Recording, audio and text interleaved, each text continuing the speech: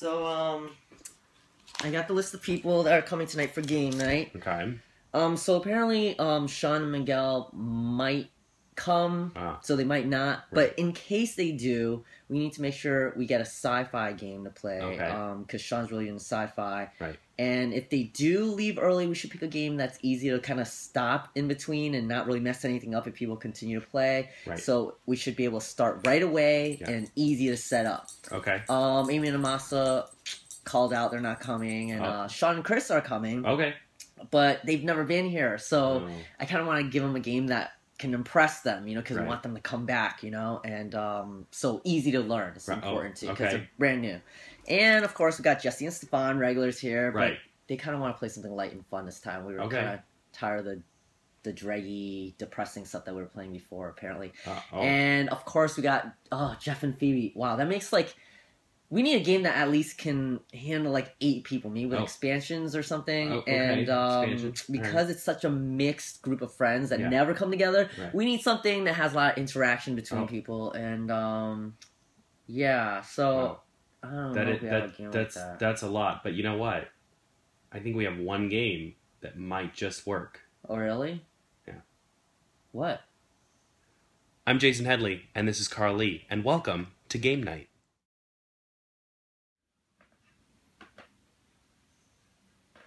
This is Cosmic Encounter. Cosmic Encounter is a game from Fantasy Flight Games for three to five, six, seven, eight players if you get all the expansions.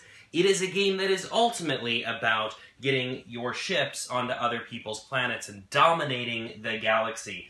But simple as that may sound, there is so much more here than just a game about getting your ships onto other people's planets. And Carl, tell them the basic game. Tell them how they win the game. Okay, it's my turn, and I am the green planet. You don't know what alien I'm at, but uh, Jaysen will tell you that later. And so, my turn, I draw a destiny card to see who I'm going to attack. I am going to attack the red planet, so I'm going to take the hyperspace gate and point it at one of their planets. I'm going to attack that planet right there. And so, I'm going to put a couple of my ships over there, up to four, to attack. Does anybody else want to come in on this with me, be an ally? Okay, blue team jumps in, and uh, how about orange? They decided you want to jump in and attack the red, but oh, white team is actually helping them too. And so, now that we've got all our allies, we pick a card from our hand, one of our eight, and it's an attack card. There's actually all the cards too, but for now, simplify. It's an attack card, and I'm gonna lay it face down to attack. When we're ready, we flip it see who's won. I got a really low card, so supposedly we lost. If we won, we would have all went to their planet, right? Let's just say we did win. We'd all go to the planet, and everyone who won, got on the planet, would move their ships on this warp thing to show how many um, planets that you're on, and when you get five, you win. Otherwise, when you lose, like we just did, we or whoever loses all goes to the warp, and then we can't use those ships. These cards get discarded. Continue. Who's next? Now we could go on and on. We could talk about negotiate cards, which have players negotiating planets or ships with each other. We could talk about morph cards, which literally just morph into whatever opponent card that they're playing. But what makes Cosmic Encounter special isn't any of that.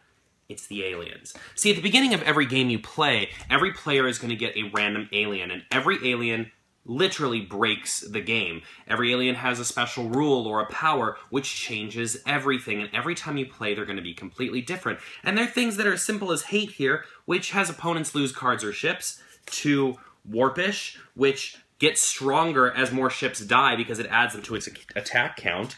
The bride literally marries characters to each other so that they have to work together.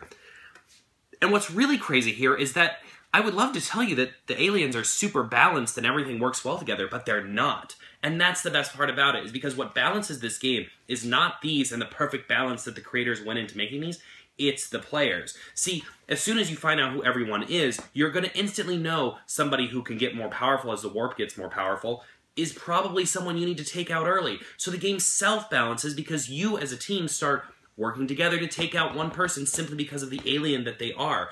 And you're working together and fighting each other and forming alliances simply based on these aliens. And because of its imbalance, the game is suddenly balanced perfectly through the chaos that is aliens. I mean, you can be an animal. You can be hate. You can be hate.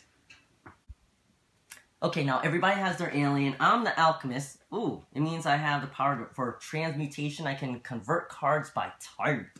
Cool. And now everybody has their eight cards, and you know, Jaysen already showed you the cards that you battle with with the attack points and stuff. But there are other cards too. Like for example, there are cards called flares, which basically is every single alien in the in the deck, and each one has their own card. For example, this is Chronos' card, and if you are Chronos, you have a very very special ability here. But if you're not Chronos, you get to use one of his abilities, and they normally just do crazy things, and you get to keep this card. You don't even have to discard it.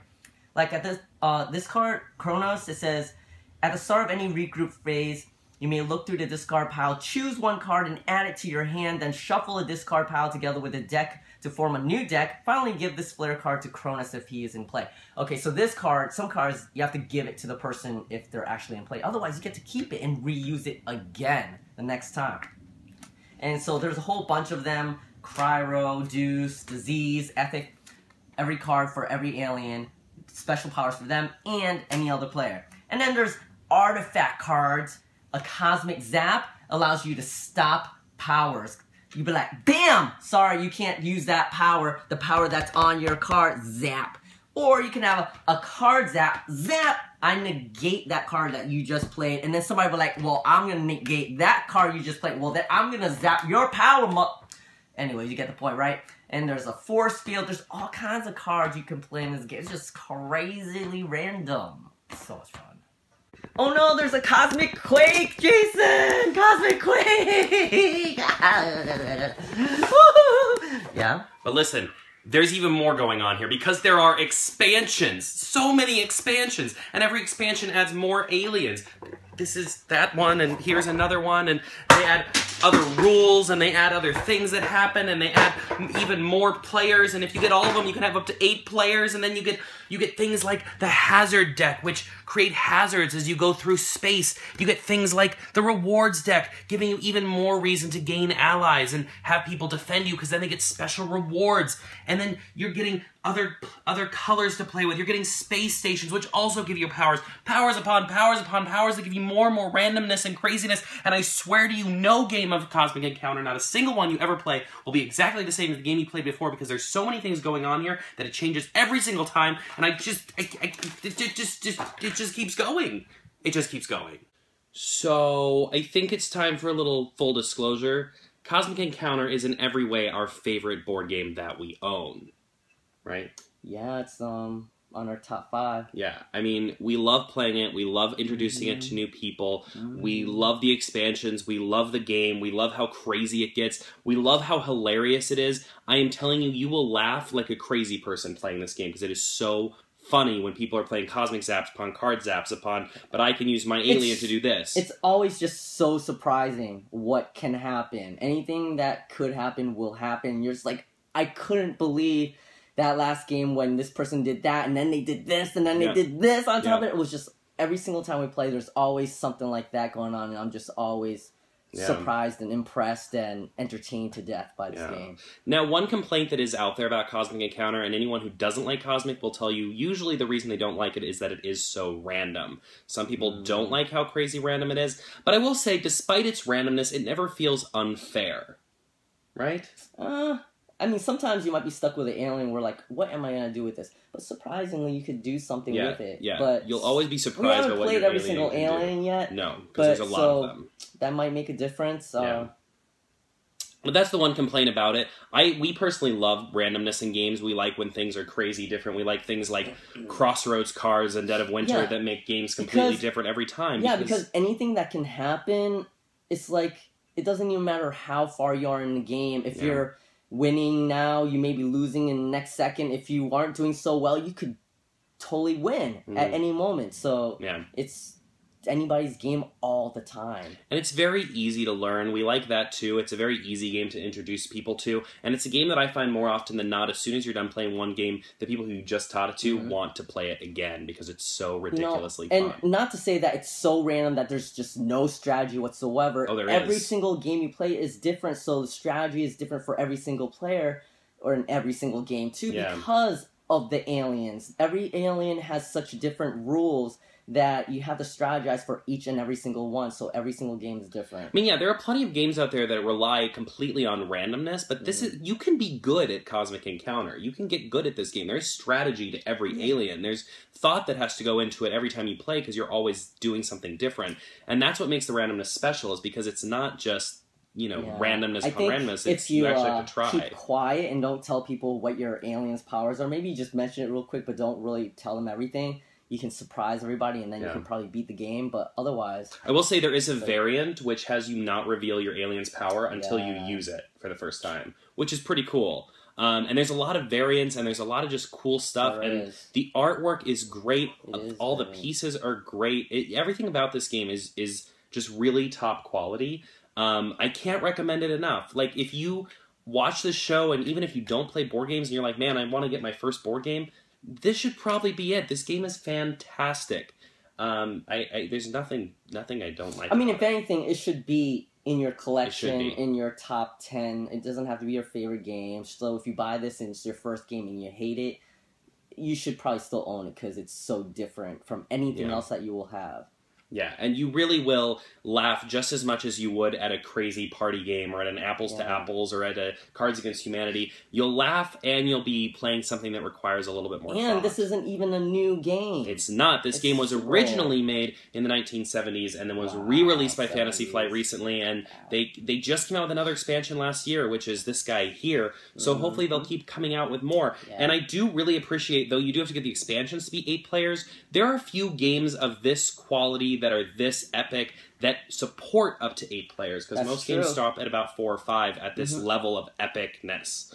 Um, and that's really great because things can just go completely insane when you have that many Sometimes players. we can't even invite all our friends because we're like, oh, we can't invite those two because then it'll break the four to six player thing. Yeah, So this goes to eight. You can This invite, game is invite all your phenomenal. friends. Well, not all of them.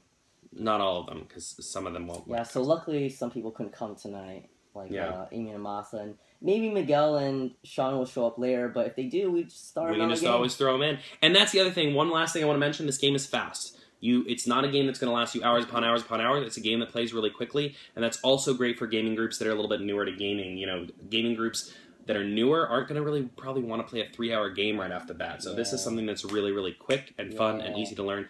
Yeah. And we say buy it, yeah, buy, buy it, buy it now, it. buy it like the wind. Yeah, buy you buy it. wind? I don't know, yo. We Buy- buy all the time. Your voice is just getting worse and worse. Getting worse and worse. blah, blah, blah. Yeah, I'm not. oh, I promised myself I wouldn't today. destroy the game because we're getting ready for game Don't night. destroy. We I don't- know people are about to come over. Don't. Ah, Man, oh, lucky you didn't knock over all the freaking ships. I would have had to I pick them didn't. all up. All Is that a well, challenge? No. All right, guys. Well, uh, we're going a little long here, but you can follow us on Twitter. Yeah. I'm at Cucamonga Cat. This is at Carl K Li. You can follow us on Instagram. I'm at Easy Cat. This is at Carl K Li.